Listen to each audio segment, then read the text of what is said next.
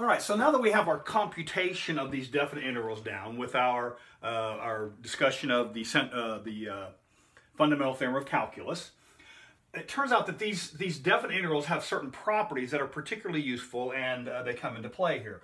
In no particular order, let's see if we can just list these properties and then maybe we'll go through and discuss a few of them in a little bit more detail. Okay, the first property is, the first two, again, again these are in no particular order, but the first two I'm going to list are the same properties that we have from antiderivatives and derivatives, properties that we've had for most of the semester. And that the first property would be this, the integral from a to b of k times f of x dx. So this is a constant times a function. So what we have is, this should sound familiar, this is a constant multiplier. And so the question is, what do constant multipliers do? Yes, we can hear that. Constant multipliers multiply along. And so we may take this constant multiplier from inside the integral and factor it out. Essentially, this is a special type of summation. This is the limit of a summation, and we know that for summations and limits, constant multipliers multiply along. So this property essentially is inherited from the structure of what this, uh, the Riemann sum that went into this. That's the long of it. The short of it is this constant multipliers multiply along. If you have a constant multiplier inside the integral, you may, if, you, if it's more convenient, you may move it outside the integral. If you have a constant that's outside the integral, you may, if it's more convenient, put it inside the integrand. So you may freely move constants. You may not, not, not, not, not, you may not do this with variables. If you have a variable, if you have the variable of the integral here, then you may not move an x value. This is dx, you may not move an x freely in and out. Those are, that's not the same property. Constant multipliers multiply along. The second is the integral of the sum.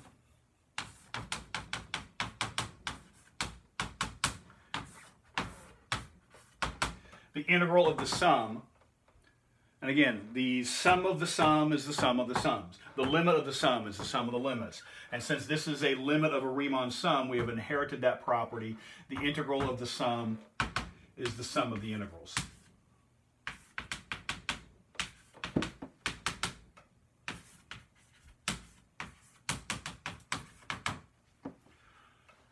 And so those properties are the ones that we inherit from the fact that this is a, a Riemann sum. Now, there are a couple other properties that come into play, and again, I'll, I'll just write these up here for now, and then we'll talk about a few of them in more detail here in just a bit. So the first, uh, I'm going to, again, these are in no particular order, but the first I'm going to write is this. If the upper and lower limits of integration are the same, it doesn't matter what the number is, it's got to be in the domain of the function. Again, all of the properties I'm writing here are assuming these integrals are defined. So it doesn't matter what value this is, but if it's the same, if the upper and lower limits of integration are the same,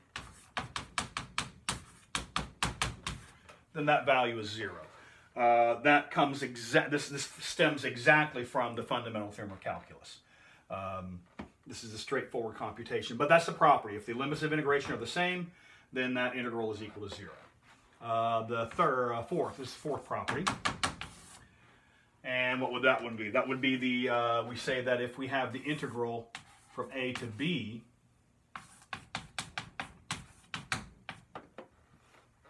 and the integral from b to a. So what we've done here, and I don't know what I'm going to put in here just for a moment, if you interchange the limits of integration, right?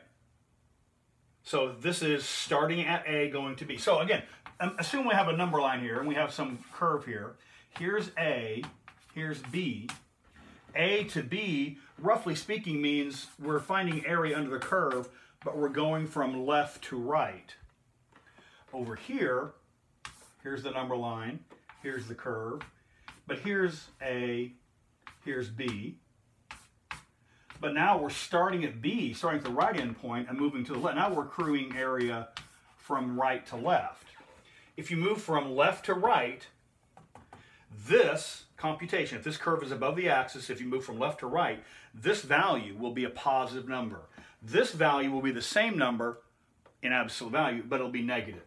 And so these are equal, but one is the negative of the other. If you interchange the limits of integration, the value becomes negative. If this integral works out to be 6, this integral will work out to be negative 6. Uh, this, this expression on the right-hand side is negative 6. If this is negative 5, this will work out to be positive 5.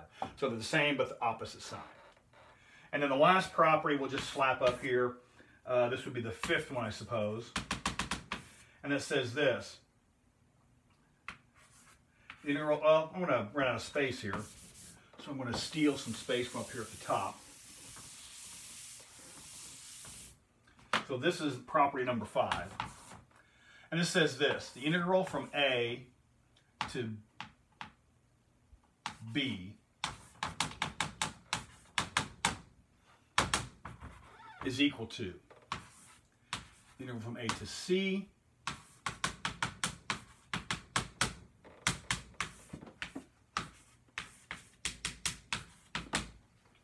integral from A to B is equal to the integral from A to C plus the integral from C to B.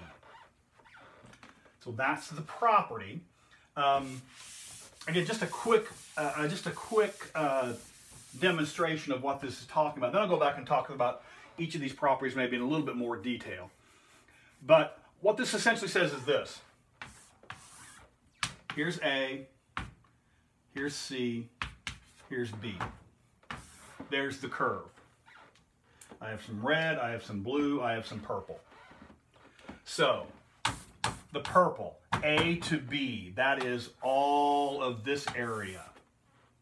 So that goes all the way from A to B. This is integral from A to C. So let's call that the blue. That's this piece. That would be here. And then the red goes from C to B. That would be this piece. And so it says if you take the blue, that's this bit, and add to that the red, that's this bit, then you get the purple, that's this bit. This is the fancy calculus way of saying the whole is equal to the sum of the parts. The whole is equal to the sum of the parts. What is not obvious, but what is in fact the case, is that this property is true even if C is not between A and B.